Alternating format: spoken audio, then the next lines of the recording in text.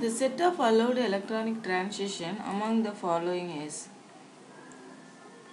the transitions are shown here. The option is also given here.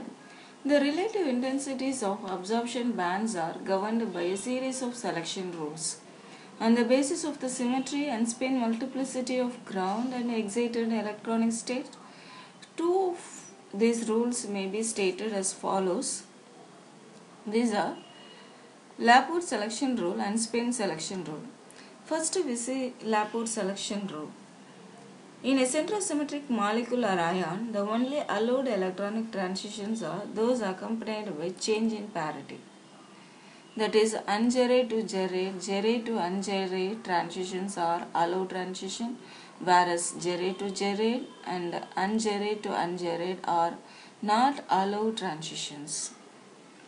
The selection rule involving the total molecular orbital angular momentum is uh, delta lambda values are 0 and plus or minus 1.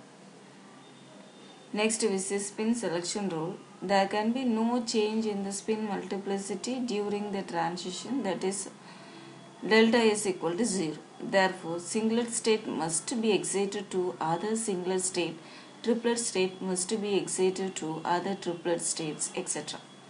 No transitions from singlet to triplet or other situation where the multiplicity changes are allows. To derive the allowed and not allowed electronic transitions, we need some values of lambda and its term symbols. First, we consider the A option that is quadruple sigma to doublet pi. The lambda value for sigma is 0, the lambda value for pi is 1. So, delta lambda value is 1. Delta S value is minus 2. Uh, this excitation is not obey the spin selection rule, so it is forbidden transition. Next, we consider the B transition that is a triplet sigma to triplet pi. Here the delta lambda value is 1, delta S value is 0, so it is allowed transition. It, since it obeys the Laporte selection rule and the spin selection rule.